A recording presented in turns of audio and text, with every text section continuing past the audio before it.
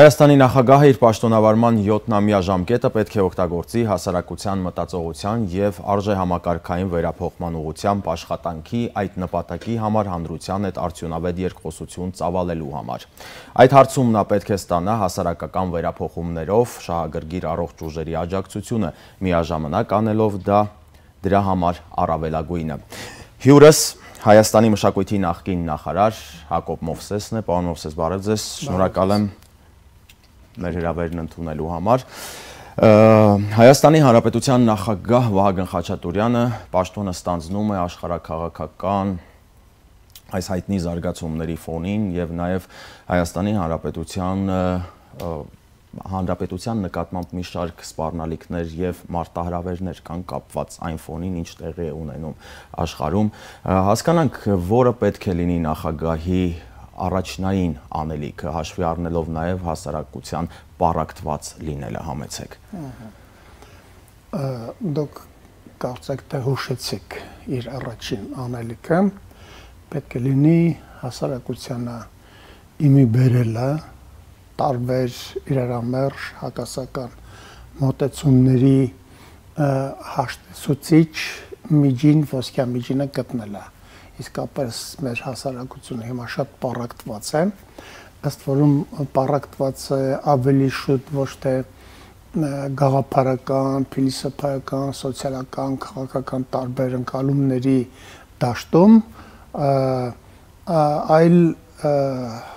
ավելի նեղ, ավելի անznական, ավելի զգացմունքային, ավելի էմոցիոնալ, այսպես ասենք։ Ըստ էության մեր հանրապետությունում քաղաքական կամ սոցիալական բանավեճ չկա։ Լավ կլիներ, որ լիներ։ Բայց կա թշնամանք, կա թշնամություն, որը հրահրվում է եւ բորբոքվում է, ինչը այո, հանրապետության նախագահը կարող է իր գործնեությամբ, իր անձով, իր բնավորությամբ, իր կենսափիլիսոփայությամբ մեղմել թե վարկան նվազ լիազորություններին։ Գիտեք ինչ, քաղաքական գործի ամենամեծ լիազորությունը իր խառնվածքը, իր հայացքները եւ իր կենսապիլիսոփայությունն է, նաեւ քաղաքական կենսապիլիսոփայությունը։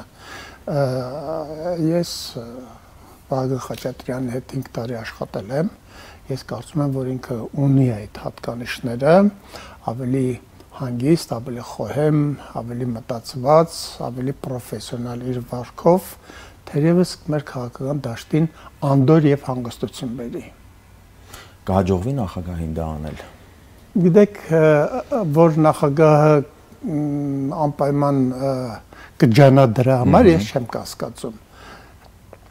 Ձեր հարցը ուրիշ ենթատեքստ ունի, այս այսինքն մենք այնպիսի իրավիճակում ենք, որ կարողանանք կոնսոլիդացվել եւ իմի բերվել։ Ես կարծում եմ, որ ի վերջո այո, ի վերջո այո ինչի եմ այսպես ասում վերջին երկու տարվա զարգացումները նկատի ունենալով արդեն կարծեք թե մտնում են քաղաքական ձևերի ֆորմաների մեջ, նաև աշխարհակաղակական իրենց ֆորմաների մեջ, մենք կարծեք թե հասկանում ենք մեր խնդիրները, մեր հնարավորությունները, մեր կողմնորոշումները ավելի ենք հասկանում, այսպես ասեմ, կան թե մի 2 կամ 3 տարի առաջ եւ հետեւաբար կրկերը ավելի են հիմա հանգստանում, ավելի են հանդարտվում եւ հենց խոհեմության ժամանակներ են։ Հիմա մեր ամբողջ ժողովրդին, ինչպես նաեւ մեր քաղաքական էլիտային, ընտրախավին մի բան է հարկավոր։ Շատ մեծ խոհեմություն, պատմական խոհեմություն։ Մեզ հարկավոր է վերջին 10, 20, 30 տարվա մեր ամբողջ հակասությունները, մեզ բսկտած հակասությունները դնել մի կողմ, հենվել մեր 2000-ամյա պատմության վրա եւ մեր այսօրվա եզրակացությունները անել այդ պատմությունից ելնելով, իսկ դա մեզ իմի բերելու շատ կետեր ունի։ Իսկ ինչու չի ստացվում այդ տարաձայնությունները, հայացքների տարբերությունները մի կողմ դնել։ Տեսեք, մեր աչքի առաջ վառ օրինակ ունենք Ուկրաինայի դեպքերը, երբ տասնյակ տարիներ, հա, քաղաքական ամենատարբեր հայացքներ, կուսակցական պատկանելություն ունեցող անձինք, քաղաքական գործիչները այս օրերին միավորվել են, նախկին նախագահները անգամ կանգնել են գործող նախագահի կողքին, հանուն մեկ գաղափարի, հանուն անվտանգության, ազատության, երկրի պաշտպանության։ Մենք, պարոն Մոսես, դա դրա դառը փորձը նաև ունենք բոլորովին վերջերս 2020 թվականի 44-օրյա պատերազմի օրերին, երբ համախմբվելու փոխարեն հասարակությունը, քաղաքական ուժերը պարակտվում էին։ Դուք ճիշտ եք ասում, դրա պատճառը իհարկե նախ եւ առաջ այդ պատերազմներ, որը մեզանում դարձավ շահարկումների, նյութ շահարկումների առարկա, չնայած կարող էր դառնալ շատ լուրջ վերլուծությունների, շատ լուրջ անալիզների առարկա եւ այդպեսին էլ կար տեղ շահարկելու բան չկար այդ ողբերգության մեջ բայց այստեղ մի ուրիշ բան էլ կա ես կարծում եմ որ մեր երկրում աշխարհակաղակական նոր իրողություններին համապատասխան նոր հնարավորություններ են փնտրվում, որոնք եւ նախկին իշխանություններին եւ նախկին կենսագրություն ունեցող մեր հասարակության համար դեռևս անհասանելի են, անմատչելի են կամ առնվազն անմեկնելի են։ Պատկերացնում եք մենք վերջին 100-150 տարվա մեջ առաջին անգամ կանգնել ենք ռեալ շոշափելի խնդրի արժև մենք ինչպես պետք է հարաբերվենք մեր հարևան երկրի Թուրքիայի հետ այսպիսի հարցեր տեսականորեն եղել են որոնց տրվել են շատ էմոցիոնալ պատասխաններ հիմա ոչ հարցն է տեսական շատ կոնկրետ իրողություն է եւ հետեւաբար մեր պատասխանա վերաբերմունքն էլ չի կարող լինել էմոցիոնալ։ Ես կարծում եմ, որ նոր իրողություններ են, որոնց մեջ մեր քաղաքական գրագիտությունը, մեր քաղաքական տաղանդը եւ կողմնորոշումները, ինչպես նաեւ փորձը առայժմ մեզ թույլ չեն տալիս որոշակի վճռական եզրակացություններ անել։ Մենք ուկրաինական միասնականության այս գաղափարից դասեր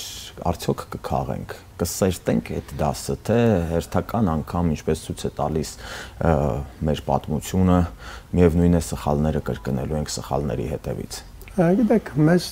դաս պետք է տա մեր պատմությունը, մեզ ոչ Ուկրաինան, ոչ Կուբան, ոչ էլ չգիտեմ, Շրի Լանկան չեն կարող դասեր տալ,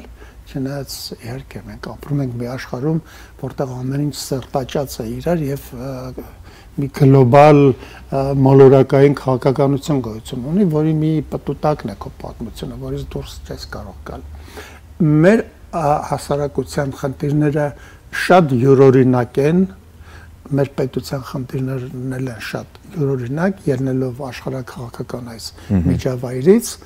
այդտեղ եթե մենք էթիկայի տեսակետից միասնական լինելու եւ այլն եւ այլն կարող ենք աչք գցել Ուկրաինայի կամ մեկ ուրիշ երկրի վրա, բայց մենք պետք է կենտրոնանանք մեր խնդիրների շուրջը։ Ես կարծում եմ, որ մենք ապրում ենք մեր պատմության ամենավճռական մի պահերից մեկը, ոչ միայն ճակատագրական տեսակետից, նաև ճակատագրական տեսակետից, բայց նաև որոշում կայացնելու։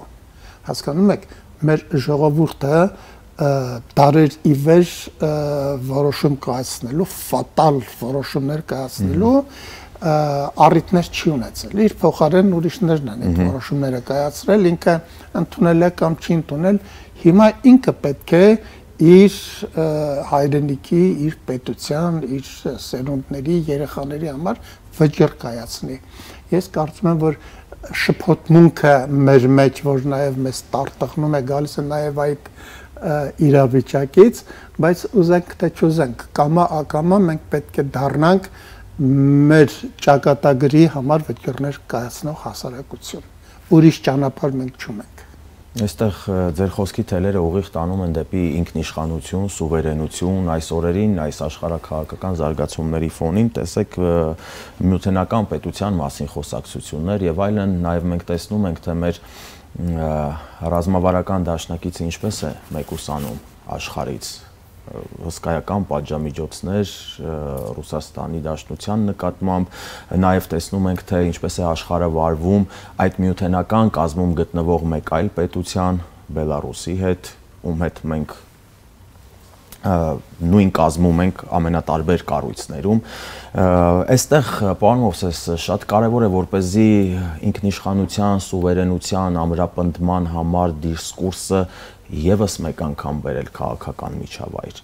եւ այդ ուղղությամբ ոչ միայն քաղաքական գործիչները, հա, այդ ուղղությամբ աշխատեն, այլ նաեւ ինչպես դուք եք նշում հասարակությունը, հասարակության ամենատարբեր լայն շերտերը։ Դուք ճիշտ եք ասում։ Տեսեք, ես այդ խոսակցությունները համարում եմ չհիմնավորված եւ ուռճացված ընդհանրապես եթե մենք նայենք ժամանակակից քաղաքականության, այսպես ասած, ընդհանուր պատկերին, համայնապատկերին, մենք տեսնենք, որ բոլոր պետությունները եւ եվրոպական եւ հարավ հյուսիս ամերիկյան փորձում են ապրել ընտանիքներով, բլոկներով, միավորումներով։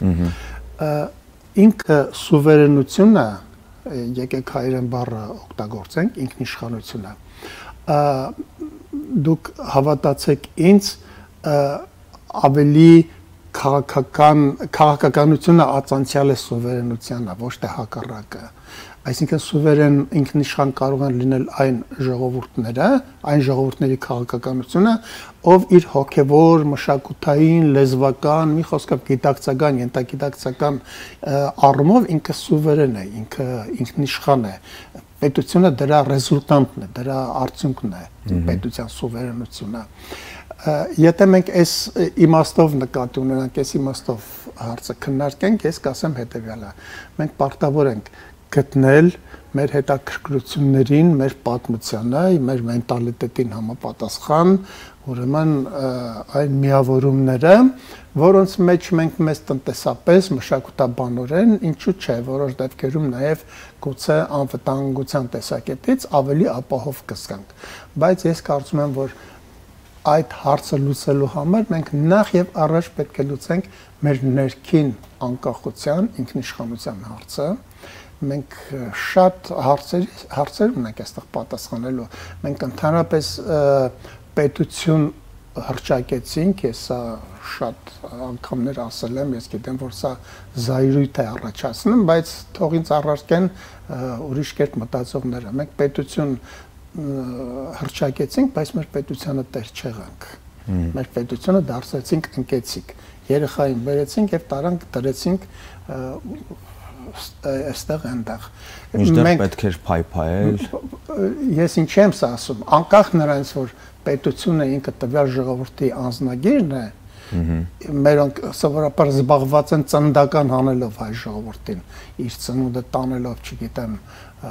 քարեդար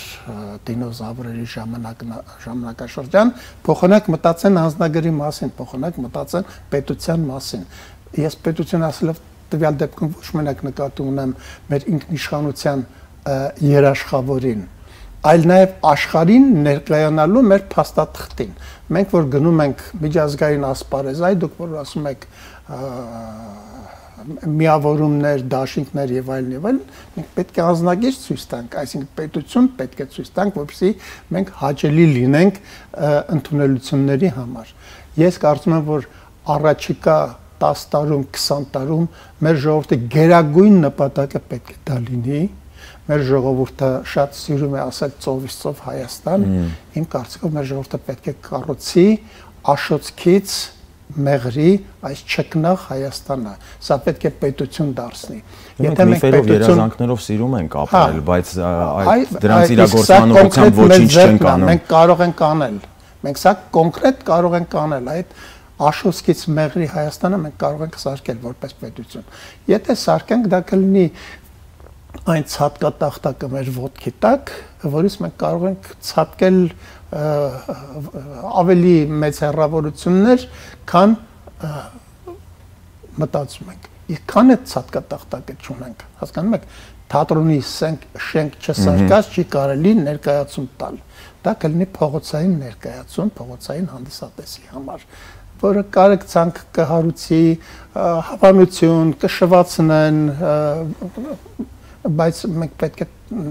թատրոնի շենք ներկայացուցչություն սարքենք, որպեսզի ներկայանանք։ Ես այսպես եմ մտածում։ Մենք անընդհատ պահանջում ենք պարոն Մովսես, բայց նախ պահանջելու համար դրա իրավունքը պետք է ունենալ։ Իսկ իրավունք ունենալու համար պետք է անվտանգային հարցեր լուծել, կրթական հարցեր լուծել համեցեք։ Մենք որ ասում ենք պետություն, նկատում ենք այդ ամբողջ համալիրը, այսինքն գրագիտություն, դպրոց, բանակ, կոռուպցիա, հասարակական ինստիտուտներ, պետական հաստատություններ, այդ ամբողջ բան նկատի ունենք եւ եթե քանի դա չեն կարել, մենք անպաշտպան ենք։ Ուզում եք հայ ժողովրդին ամեն մեկին 5 հատ ուրեմն թնդանոտ բաժանեք։ Քանի ինքը պետություն չի ստեղծել, ինքը անպաշտպան է։ Մենք արևմուտքից, արաբական աշխարհից անընդհատ ինչ որ սպասելիքներ ունենք, բայց այս տարիների ընթացքում արդյոք ճիշտ ռազմավարություն են կարողացել մշակել նույն այս պետությունների հետ, հարաբերությունները ճիշտ զարգացնել։ Այո, մեր հարևանների հետ կարծում եմ, որ չէ, ավելի մինչև հիմա ես այն կարծիքին եմ, որ մենք ապրել ենք սովետական միության թերմացքներով վերջին պատերազմի ժամանակ այդ թերմասկները վերջացան Դե որովհետև դեռ մտածում ենք ունենք ավագ եղբայր, որը հա։ ամենավատ իրավիճակներում կգա եւ մեր թիկունքին կկայնի, կկանգնի, բայց փաստորեն եւս մի անգամ ապացուցվեց որ բոլոր տեսակի ավակ եղբայրները կանգնում են նրանց թիկունքին, ովքեր թիկունք ունեն։ Ովքեր թիկունքով տղա են, այսպես ժարգոնով ասած։ Եթե մենք այդ թիկունքը մեր պետությունը կառուցենք, մեր թիկունքին կարող ենք շատ շատերին կանգնեցնել, մեր կողքնել կանգնեցնել, մեր չափնել իմանալ եւ մեր անելիքները իմանալ։ Եվ քանի որ այս չափ բառը օգտագործեցի, ես մի բան ալ ասեմ։ Եթե ժողովուրդը պետություն չունի, նա իր չափերը չգիտի։ Եվ ընկնում է դուք ճիշտ ասացեք մի քիչ առաջ։ Միֆական, ցնորական, առասպելական գաղափարների հետևից Պարոնով, այս սխալ դիվանագիտական աշխատանքի հետևանք է արդյոք, որ այս տարիների ընթացքում մենք ինչպես նշեցինք, ավակ եղբոր պոչն ենք բռնել, բաց չենք թողել եւ նրա մեջ ենք տեսել մեր առաջընթացը, հա, պաշտպանությունը եւ չենք կարողացել ճիշտ հարաբերություններ զարգացնել, սերտել այն պետությունների հետ, այն գործընկերների հետ, որոնք նաև այդ տարիներին մեզ ձեռք էին մեկնում կամ ձեռք են մեկնել շարունակում են մեկնել, մենք ինչու ենք մերժում այդ մեկնած ձեռքը եւ արդյոք չէր կարելի պարզապես ավագ եղբորն ասել, որ հարաբերություններ հաստատելով այլ պետությունների հետ, այլ գործընկերների հետ դա բացարձակ չի նշանակում, որ մենք մերժում ենք քեզ կամ քո գոյությունը։ Հասկանալի է մենք վերջին տարիներին անընդհատ խոսել ենք մեր տնտեսության դիվերսիֆիկացիայի մասին, բայց չենք խոսել մեր քաղաքականության եւ դիվանագիտության մասին։ Այս իմաստով դուք ճիշտ եք ասում։ Մենք պետք է մեր քաղաքականությունը նույնպես դիվերսիֆիկացնենք, տարբերակենք, բազմազան եւ բազմաժանր սարքենք եւ դուք հավատացեք, որ այդ դեպքում մեր կապը ծեր ասած ավակ եղբոր հետ կարող է շատ ավելի հուսալի եւ շատ ավելի տեղին լինել։ Գիտեք, պետությունները ուրիշների հետ ունեցած կոհարաբերություններից կողեն մնում այն ժամանակ, երբ իրենք էլ են դրանից օգտվում, երբ իրենք էլ են դրանից օգտվելու շանս, հնարավորություն փոքր կամ մեծ ունենում։ Այս իմաստով ես և, այսօրվա մեր դիվանագիտական վիճակը մեր հարևանների հետ մեր հարաբերությունները բարելավելու համարում եմ ճիշտ ես կարծում եմ որ դա մեզ կօգնի նաև Ռուսաստանի հետ ճիշտ հարաբերվել դուք հավատացած եղեք Թուրքիայի հետ ճիշտ հարաբերությունները մեզ կօգնի, որ մենք Ռուսաստանի հետ էլ ճիշտ հարաբերվենք, Վրաստանի հետ էլ ճիշտ հարաբերվենք, Պարսկաստանի։ Մենք կարիք չունենք կենտրոնանալու սահմանափակվելու ոդքերս դնելու մի տախտակի վրա, որը ցանկացած պահի կարող է ջարդվել եւ քեզ նետել ցած։ Ռուսաստանը խանդով չի մոտենա այդ դեպքում։ Գիտեք ինչ, քաղաքականության մեջ կան օկուտներ եւ վնասներ, չկան խանդեր մենք պետք է այնպես անենք, որ Ռուսաստանը տեսնի, այնպես հաշվար պետք է անենք, որ Ռուսաստանը տեսնի, որ դա օկուտ է, դա այդ հապկի անդամ երկրի իր ռեգիոնալ քաղաքականության համար օգտակար է իրեն այդ դեպքում ինքը իհարկե խանդով չի վերաբերվի խանդով կվերաբերվի այն ժամանակ եթե դու հարաբերությունները մի հարաբերությունը սարքում ես մեկի հաշվին կամ մեկի օգտին դրա համար եմ ես ասում մենք մեր քաղաքականությունը դիվանագիտությունը պետք է զանա զանակերպենք դրա համար կա դիվանագիտական տերմին, բայց ես ուզում եմ տնտեսական տերմին օգտագործել։ Պարոն Մովսես, եւ ամփոփելով մեր զրույցը, կրկին ուզում եմ նախագահ Վահագն Խաչատուրյանի երբնակալությանը գանք